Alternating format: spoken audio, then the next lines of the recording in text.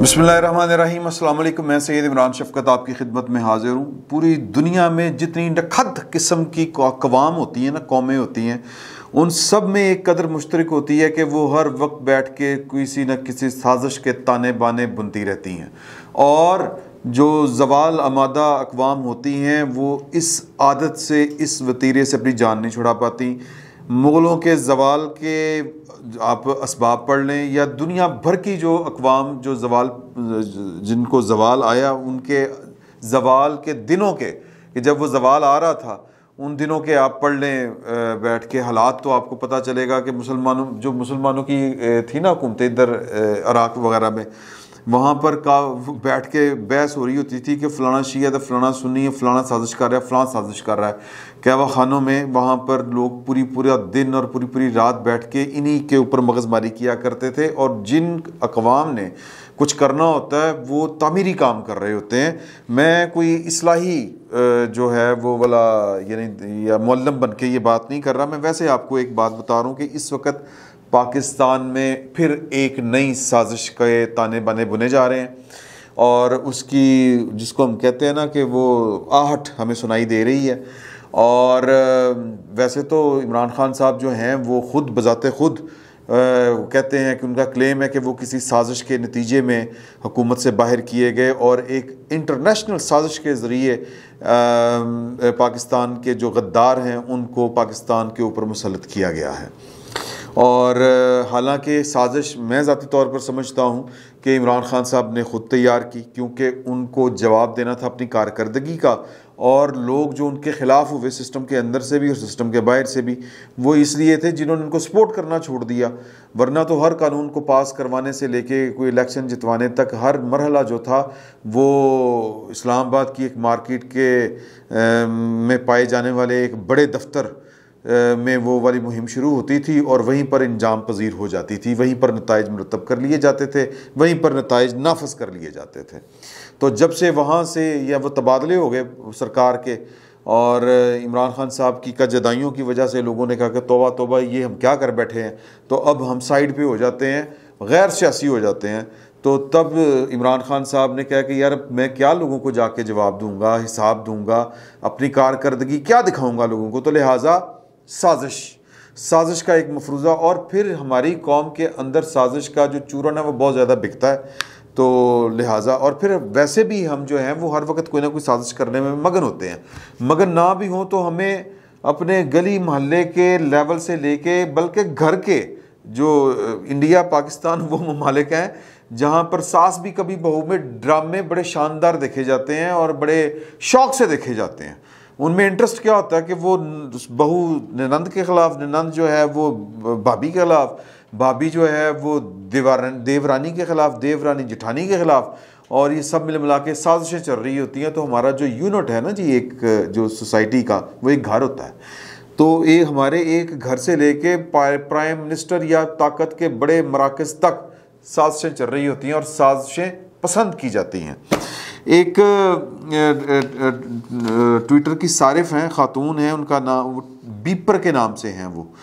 उन्होंने एक ट्वीट किया और वो जो ट्वीट था, वो मेरे पास यहीं पे, कहीं पे पड़ा हुआ होगा। वो ट्वीट मैंने उसका उनको जवाब दिया। ट्वीट वो शानदार था, मेरा ख्याल आगे पीछे हो गया मुझसे। मैं ढूंढ रहा हूँ, अगर मुझे मिल जाए। वो बेसिकली ये कहना चाह रही थी कि जी कि आप रियासत को हल्का ना लें।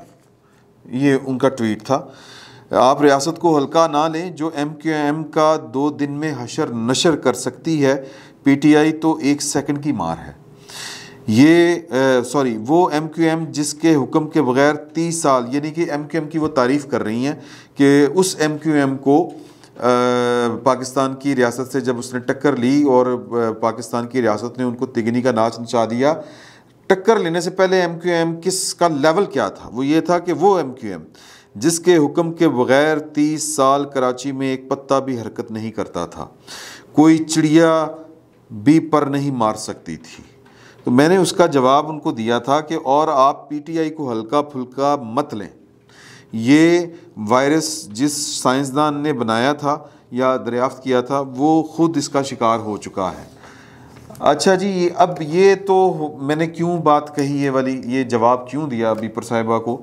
ये मैं आपको आगे चल के बताऊँगा और उस, मेरा जो इस्तदलाल है, उसमें जो दो चीज़ें जो है ना जी, वो बड़ी मैटर करती हैं। पहले मैं आपको बात बताता हूँ बल्कि सुनाता हूँ। एक और ट्वीट है, जाहिद किशकोरी साहब हैं, बड़े पाए के सहाफ़ी हैं, समा में बतौर इन्वेस्टिगेशन जो सेल है, उसको हेड कर रहे हैं, जियो में होते थे। ये कह रहे हैं कि चीफ इलेक्शन कमिश्नर को एक ख़ास मंसूबे के तहत मतनाज़ा बनाने की मनज़म कोशिश की जा रही है। अब ये बड़े पाए के साफ़ी हैं। मैं इनकी बात और इनकी खबरें बिल्कुल दुरुस्त साबित होती हैं।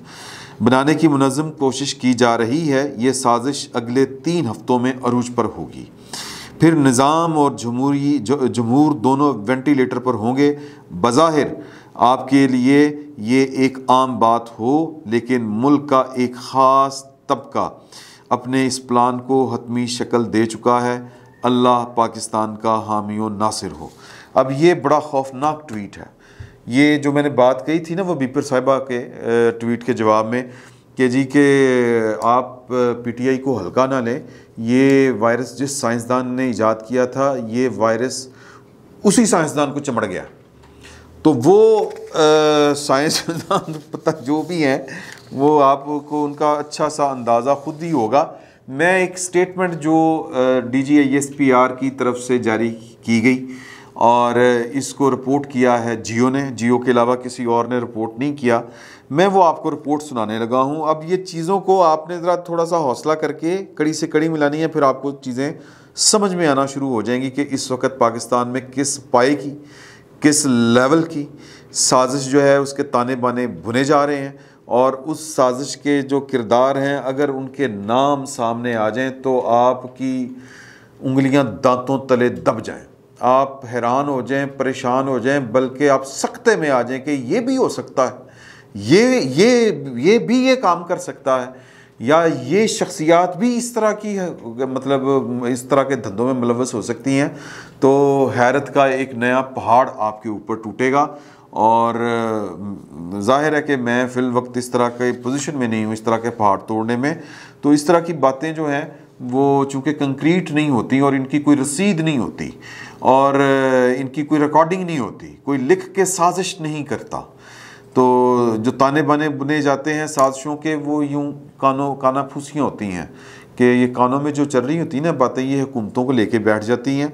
तो यही साजिशें होती हैं। तो लिहाजा मैं इशारों में ही बात करूँगा। आप समझदार हैं, आप समझिएगा। D G I S P R अब D G I S P R को मेरा मतलब है कि वो कोई गैब से मजामी तो नहीं आते ना? इल्हाम तो किसी पर वारद नहीं होता। तो जो आसमान के दरवाज़े हैं, वो इल्हाम के लिए बंद हो चुके हैं। तो वो फरमा रहे हैं कि पाकिस्तान के ख़िलाफ़ कोई साजिश कामयाब नहीं होने देंगे, ये तर्जमान पाक फ़ौज कह रहे हैं। और वो कह रहे हैं कि जी के, उनके एक बयान में उन्होंने कहा है कि जी के पाकिस्तान की इंटेलिजेंस एजेंसियाँ दिन रात साजिशों के ख़िलाफ़ काम कर रही हैं। सवाल ये पैदा होता है कि साजिशें कर कौन रहा है? सवाल ये है वन मिलियन डॉलर क्वेश्चन ये है। इस पर थोड़ी सी बात करेंगे आगे चल के। उन्होंने मज़ीद कहा कि पाकिस्तान की इंटेलिजेंस एजेंसियाँ और इदारे भरपूर तरीके से काम कर रहे हैं। अगर किसी ने पाकिस्तान के ख़िलाफ़ कोई भी साजिश की, करने की कोशिश की तो उसे कामयाब नहीं होने देंगे। और उनका कहना था कि पाक फ़ौज की ये ज़िम्मेदारी है कि वो मुल्की सालमियत के ख़िलाफ़ कोई साजिश ना होने दे और इसका तदारक करे। अब ये सवाल पैदा होता है कि ये साजिश कहाँ पे हो रही है? कौन कर रहा है? ये जो chief election commissioner Zahid Gashgori साहब ने फरमाया है के जी के चीफ इलेक्शन कमिश्नर को एक ख़ास मनसूबे के तहत मतनाज़ा बनाने की मनज़म कोशिश की जा रही है। अभी चंद मिनट पहले ये ख़बर जाहिद गशगोरी साहब ही दे रहे थे कि जी के जो राजा सिकंदर सुल्तान साहब हैं, उनके ख़िलाफ़ पीटीआई जो है, वो प्लान कर रही है या उसने फ़ैसला कर लिया है। अभी उसने अनाउंस नहीं किया कि वो इनको हटाने के लिए सुप्रीम जुडिशल कौंसल जाएँ। सुप्रीम जुडिशल काउंसिल में जाना ज़ाहिर है कि वो सुप्रीम जुडिशल काउंसिल जो है वो चीफ जस्टिस पाकिस्तान और दो सीनियर तीन एक उनका सीनियर और जूनियर होगा और बाकी जो दो आ, हाई कोर्ट्स के सीनियर जज हैं वो इसमें शामिल होंगे।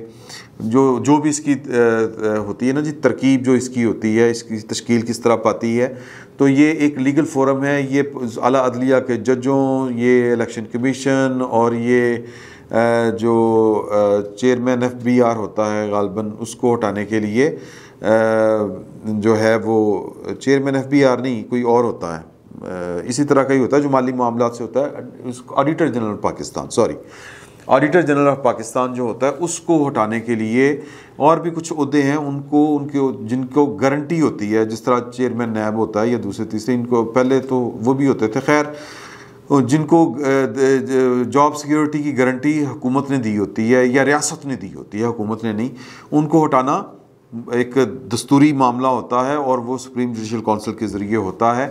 तो इमरान खान साहब जो हैं, वो मतनाज़ा बनाने की कोशिश कर रहे हैं और क्यों कर रहे हैं? क्योंकि फॉरेन फंडिंग केस में इमरान खान साहब बचते हुए नज़र नहीं आते और सबसे ज़्यादा इसका जिसको अंदाज़ा है वो इमरान खान साहब को है।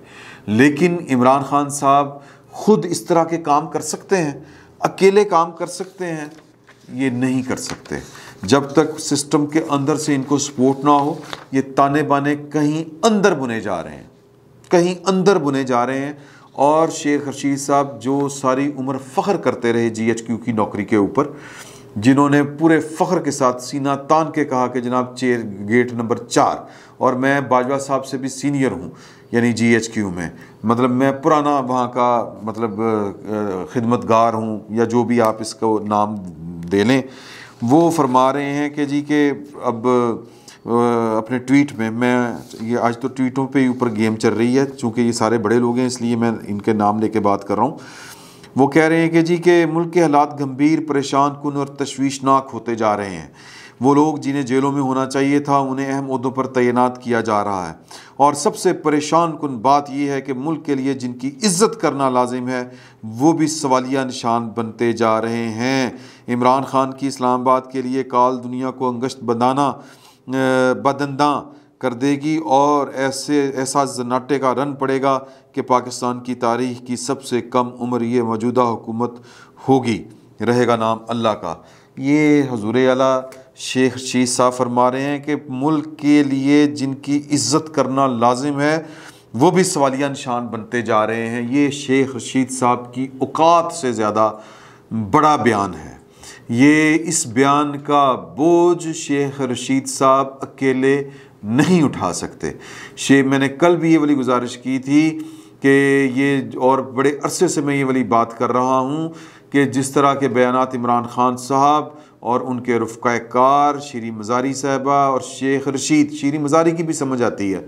लेकिन शेख रशीद जो जी एच यू का पानी भरते हैं जो पाकिस्तान की फ़ौज को अजीम फ़ौज कह के मुखातब किया करते थे वो इतने धड़ल्ले से और इतनी कह लें कि संजीदा होके अजीम फ़ौज कहते थे कि फ़ौज का अपना आसा निकल जाता था कि यार ये जो कहते हैं ना उसको बटरिंग या फ्लैटरिंग जिसको कहते हैं कि खुशामद में कितने आ, संजीदा मतलब कह लें कि कितना पक्का मुँह बढ़ा के जो है वो ये खुशामद करते हैं। तो वो ये कह रहे हैं कि जिनकी इज़्ज़त करना मुल्क के लिए ज़रूरी है वो ख़ुद सवालिया निशान बनते जा रहे हैं। तो शेख रशीद साहब को इमरान ख़ान साहब को अगर मुख्तसर बात करें, पाकिस्तान के सिस्टम के अंदर से कोई ना कोई सपोर्ट हासिल है। और वो सपोर्ट जो थी, कुछ लोगों का ये ख्याल था कि बज़ाहिर जो मामला हैं, वो जो गड़बड़ हैं मतलब दो कैंप तस्वर किए जाते थे। मैंने वो फिर आपको तारीख़ी हवालों से समझाया था कि एक दौर तक जो ये वाला मौजूदा पाकिस्तान और सबका हिंदुस्तान या सबका हिंदुस्तान का वो हिस्सा जो मौजूदा पाकिस्तान पर मुश्तमिल है, इसमें पाकिस्तान, यानी इस खत्े की सियासत में और इस खत्े के पावर पॉलिटिक्स में पेशावर का या शुमाल का बहुत बड़ा किरदार होता था। ये मैंने आपको बताया था। लेकिन वक्त बदला और फिर पिंडी का किरदार पैदा हो गया। तो कुछ लोग कहते हैं कि जी, नहीं, पिशावर का भी किरदार अब भी है, पिंडी का भी है। कुछ लोग कहते हैं कि नहीं, चूँकि पाकिस्तान बन चुका है और ये जो पिशावर का पहले किरदार था, वो इसलिए था कि तब जो किला बाला हसार में, जो, यानी शुमाल में जो मुतहदा हिंदुस्तान था, उसकी गिरफ्त इतनी मज़बूत नहीं थी। लेकिन जब से पाकिस्तान बना हुआ है तो ये ड्यूरल नाइट के इस तरफ़ पाकिस्तान की जो गिरफ्त है ये मुतहदा हिंदुस्तान की इंतज़ामिया से ज़्यादा मज़बूत गिरफ्त है। तो लिहाजा अब पिंडी हो या पिशावर हो ये एक है। लेकिन पिंडी के वाकई पिंडी अंदर से एक है। आ, मतलब ये एक सवाल जो हैं वो अजीब गरीब किस्म के हैं। तो यही जो है वो कि मतलब वो जो कहते हैं ना कि जी वन मिलियन डॉलर क्वेश्चन ये वही वाला क्वेश्चन है. अदरवाइज़ पाकिस्तान का कोई और महकमा, पाकिस्तान की कोई और जो तंजीम है जो किसी कानून के नीचे काम करती है, वो कोई भी पाकिस्तान की जो, जिसको कहते हैं ना एक मरबूत कोई इदारा या तंजीम, वो इस इस स्टेचर की नहीं है. जो इस तरह लोगों को जो है, वो मतलब पटवारी जो है वो उनकी शय के ऊपर इमरान खान साहब कुछ हरकत नहीं इस तरह की कर सकते। या शेख रशीद साहब जो हैं वो किसी, यानी पाकिस्तान के वो अदारे जिनके, जिनकी इज़्ज़त करना पाकिस्तान के लिए ज़रूरी है, वो सवालिया निशान बनते जा रहे हैं। शेख रशीद साहब को गश पड़ जाएगा आमलात में जब वो ये बात करेंगे। अनटिल अनलेस के उनको कोई बहुत बड़ी थपकी, उनके कंधों के पीछे जनाब कोई दो बड़े मज़बूत हाथ ना हो।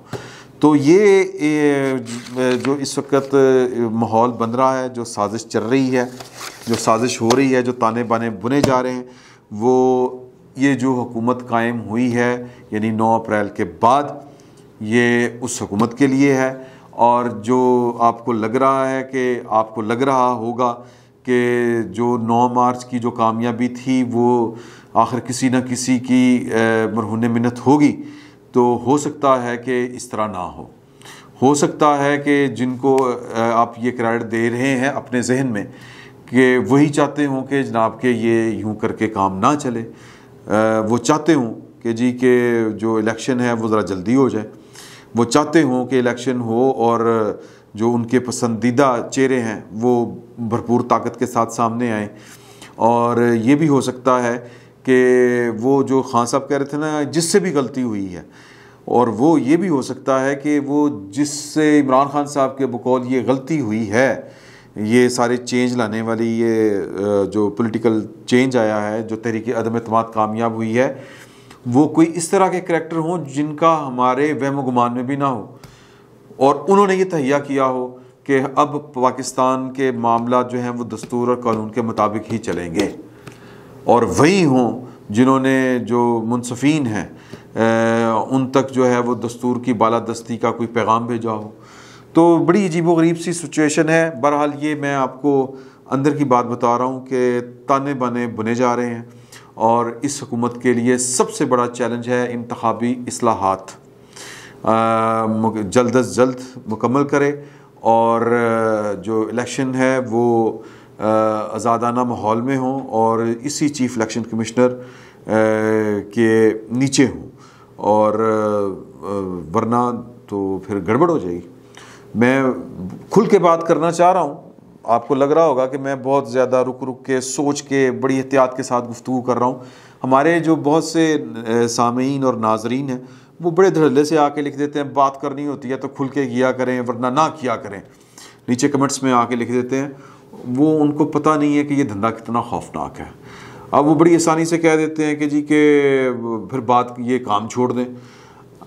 यार ये इस तरह नहीं ये दुनिया भर में जो जो हमारी जैसी होती है ना जी वो सिक्योरिटी स्टेट्स जो होती हैं और जहाँ पर आवाम पीछे होते हैं और जो इदारे जो होते हैं वो आगे होते हैं और बात बात के ऊपर आपके ऊपर जो है वो आ, हर तरह का इल्ज़ाम जो है वो लगना कोई मसला नहीं होता आपको उठाया जाना कोई मसला नहीं होता।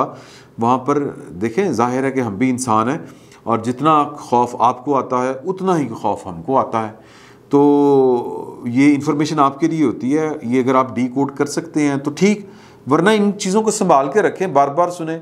आ, हो सकता है डी कोड कर लें आप आपको समझ लग जाए क्योंकि जो पाकिस्तान की सियासत और जो पाकिस्तान के सियासी मामला में थोड़ी सी दिलचस्पी रखता है उनको ये चीज़ें समझ आ जाती हैं और जिनको समझ नहीं आती वो ना वो किसी से पूछ लिया करें यही हो सकता है। या फिर इनको रखे संभाल के इन व्लॉग्स को, आने वाले दिनों में ये चीज़ें ज़्यादा आपको खुलकर आसानी से समझ आ जाएँगी जब चीज़ें बेनकाब होना शुरू हो जाएँगी और ये ज़्यादा टाइम नहीं लगता इनके ऊपर। आपको हम बता रहे थे, बड़े अरसे से बता रहे थे कि जनाब के गड़बड़े हैं सेम पेज नहीं है मामला गड़बड़ हैं। अब सोच लिया गया है कि जनाब के यूँ करके नहीं चलना, अब सोच लिया गया है कि पाकिस्तान के दस्तूर के मुताबिक चलना है तो वो चला, हुआ तो लिहाजा ये जो मैं आपको बता रहा हूँ, ये नई डेवलपमेंट है। और ये भी इन सच साबित होगी। आप बस पाकिस्तान के लिए दुआ फरमाया करें कि अल्लाह ताला पाकिस्तान के लिए खैर रखे, क्योंकि जिस सतह पर मामला जा रहे हैं, वो ज़ातियात की वजह से जा रहे हैं। ज़ात की अनाएँ जो हैं, वो मजबूर कर रही हैं इदारों को गुत्थम गुत्था करने में, और ये जो साजिशें हो रही हैं, ये अफराद की साजिशें हैं, जो अफरादी, इनफरादी फ़ायदों के लिए हैं, जो ज़ाती फ़ायदों के लिए हैं। पाकिस्तान बहुत पीछे रह जाएगा इन लड़ाइयों में, और हमेशा से यही कुछ हुआ है।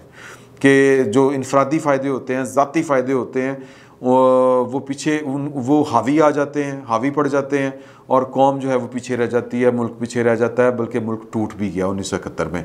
तो अल्लाह ताला पाकिस्तान की खैर फरमाए।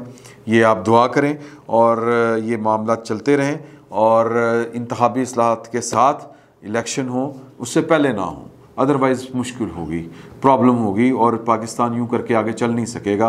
पाकिस्तान के दस्तूर, जो D G S P R ने कहा था कि पाकिस्तान के दस्तूर को नज़रअंदाज करके अब पाकिस्तान आगे नहीं बढ़ सकता। ये बात लिख रहे हैं ये बात बिल्कुल दुरुस्त है। कुछ लोग हैं जो चाह रहे हैं कि पाकिस्तान के दस्तूर से हटकर मामला उन, क्योंकि उनके ज़ात के मफादात में दस्तूर रुकावट है। इसीलिए ये पंजाब की हालत देख लें क्या है कि वो इलेक्शन हो गया, वज़ीर अला हल्फ नहीं उठा पा रहा। सदर साहब वक्री बैठ के जनाब उन्होंने अपनी जो है वो वो कवाली शुरू की हुई है। तो बड़ी गड़बड़े हैं, लेकिन अल्लाह ताला बेहतर फरमाएगा, हमेशा बेहतरी की उम्मीद रखनी चाहिए।